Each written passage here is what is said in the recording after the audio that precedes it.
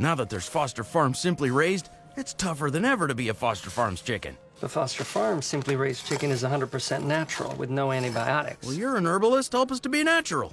Will those herbs do it? Those? One grows hair, the other increases energy.